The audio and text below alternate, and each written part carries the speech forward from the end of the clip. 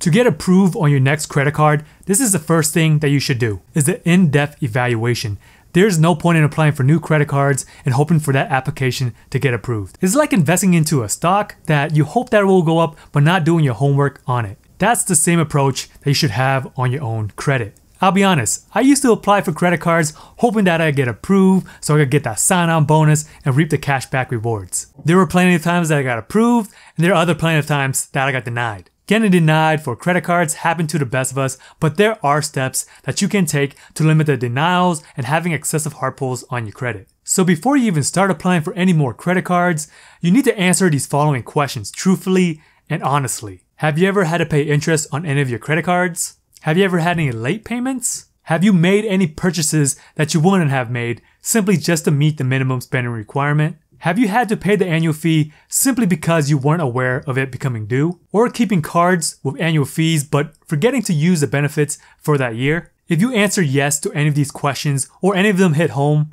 stop applying for credit cards right now. Because the honest truth is that if you can't manage your current credit cards right now, what makes you think by opening new credit cards will change this? I get it. Credit card bonuses is a great way of making some additional money, get free nights or hotel stays, and all of those perks. But the main reason why these credit card companies can make so much money is that there are a lot of people that answer yes to those following questions that I just asked you. If you can make a plan to prevent those things from happening, then you can move on to the next step. While doing some research on this specific topic, I did what every millennial does. They go to Reddit for answers. So while I was on Reddit, there's a great subreddit called Churning. This is a community that shares so much information about getting the most out of your credit cards and how to churn those points. So when I was skimming through the forums, I came across an AMA done by a Citibank representative, so let's call him Bob, who would take calls in the reconsideration department.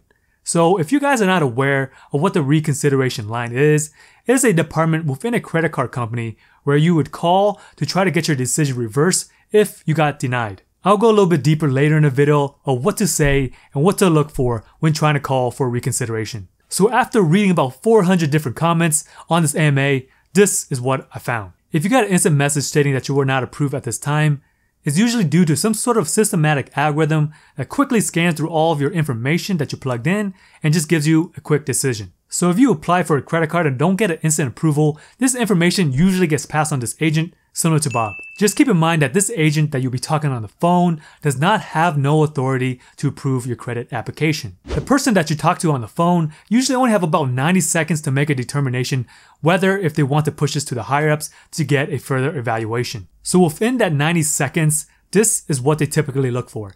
Derogatory marks, negative marks, hard inquiries, credit score, and open credit. I know this is pretty general, but Bob says it's accumulation of everything. Bob also says that income is huge and score is huge. So let's start off with derogatory marks. This typically indicates some sort of serious delinquency or late payments. So when you have these type of marks on your credit, this represents a credit risk to lenders and therefore likely to have an effect on your ability to obtain new credit. Some public examples include bankruptcies and judgments. Other examples of derogatory credit items can include collection accounts, charge-offs, and accounts that are settled for less than the full balance. Next up, we got negative marks. Some companies, they use derogatory and negative marks the same way. But in the case of this Citibank agent, he reported that negative marks include 30 day late payments, 60 day late payments, past due accounts, and things of the sort. Hard inquiries are next. So hard inquiries are also known as hard pulls. A hard inquiry occurs when a financial company such as a lender or a credit card company, they check your credit when they're making a decision whether or not to approve you. So this typically takes place when you're applying for a mortgage, taking out a car loan, or applying for a new credit card. So with hard inquiries, they usually lower your score for a few months by having multiple inquiries in a short amount of time, Typically, lenders and credit card issuers, they consider you to have a higher risk because you might be short of income or trying to get into a lot of debt. So when we're talking about applying for credit cards, it is best to apply for credit cards every few months instead of all at once. The next thing up is your credit score. This one is a big one. Just like Bob said, having a poor credit score is no way going to help you get approved for every credit card. It is just impossible. It's like trying to sneeze with your eyes open. It just won't work. A lot of credit card companies have strict rules on minimum credit score that you must have or else they just deny you automatically. So don't think by having a 650 credit score, hoping to apply for the Chase Sapphire Preferred, which is a credit card that typically requires you to have a credit score of 720 or more to get approved. So in these type of cases, there's really no way around this. The next one up is open lines of credit. This really only matters when you have another credit card with that specific bank. Bob said there are some workarounds. So to get approved for another Citi card, they may have to transfer a certain amount of credit from your old card to the new one to make the approval process to work. So if this is the case, you gotta keep your old car and the new one as well, but this only really matters if you have multiple credit cards with one credit card company. One last thing that they typically look at is the accounts open within a certain amount of time. Bob said that during his AMA, they are required to deny any account that opened up a new Citi card within the last 90 days. I am also pretty sure that other banks such as American Express or Chase have strict guidelines on their approval process as well. There is an unwritten guideline with Amex where you can only have five credit cards with them at one time. So if a credit card company has strict policies on how many accounts open or how many credit cards open within a certain time frame, there's really no way around this. This information that I have here really only applies to Citibank. Plus, this information was based off Bob,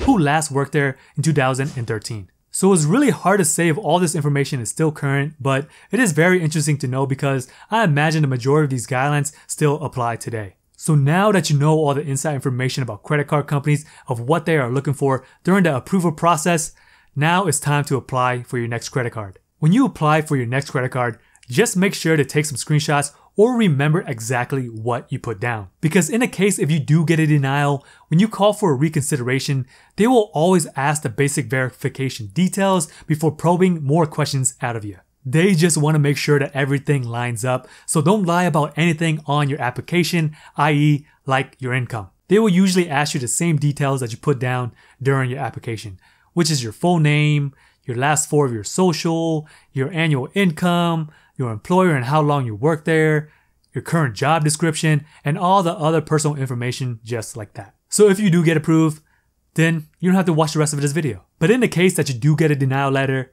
this is what you gotta do. Not all banks will have a reconsideration line that you can call, though the majority of major banks like Chase or Amex will most likely have a reconsideration department, so don't count on the smaller banks to have one. So to find out the credit card that you got denied for has a reconsideration department, just Google the bank and the reconsideration number, and something usually should pop up. And if something does come up, then most likely your bank will have a reconsideration department. So this is the exact process you're gonna do next. All right, number one, call sooner than later. The reason why you want to call as soon as you get the denial is that if you wait for longer than a month before calling, you may have to submit a new application which will result in another hard pull. So which is not good for your credit score anyways. So if you do call a reconsideration line earlier, they probably will just look up your application and review your credit from the recent hard pull. So in this case, this will not result in another hard inquiry. Alright, so this next step is to have some valid reasons of why you deserve this credit card. So imagine going to a work interview and you have to persuade them and tell them your stats and why you deserve the job.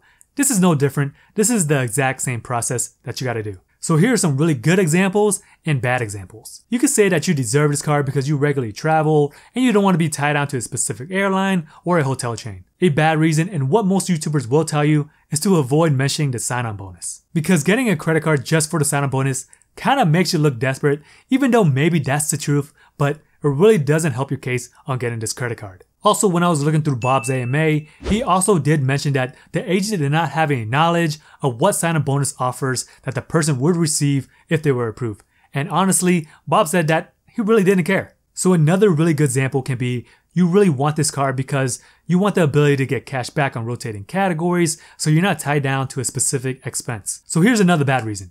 You want to get this card because you want to do a balance transfer so it doesn't charge you any interest for the first 18 months. So you can just move that money once again once the intro offer is up. So as you can see here, it's really about the wording and how you want to portray yourself. So if you portray yourself as a money hungry credit card churner, then maybe that person on the other line will see you just as that and they won't try as hard to push your credit application to the higher ups. Number three, be nice.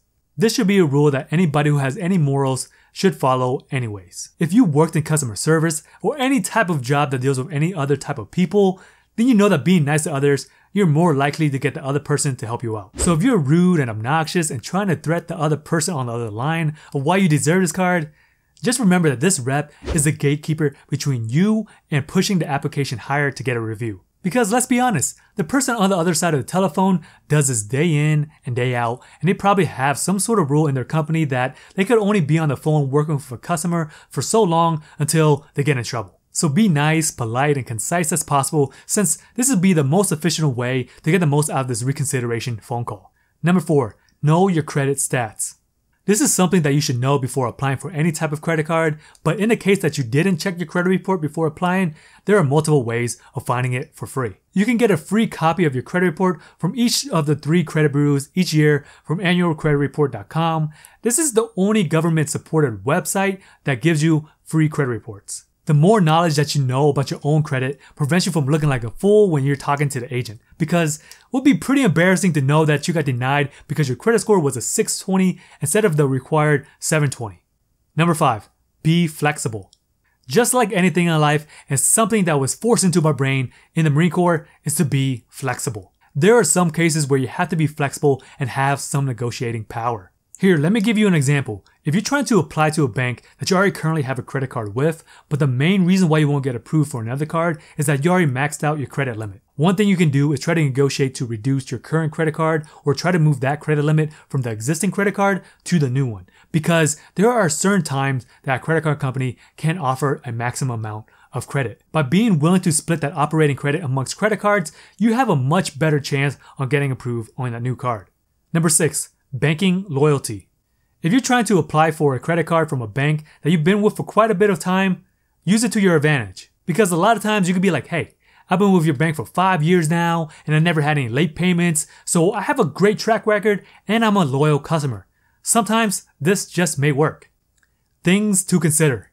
When it really comes down to it, the more prepared you are prior to your credit application, the higher probability that you will get the credit card approved.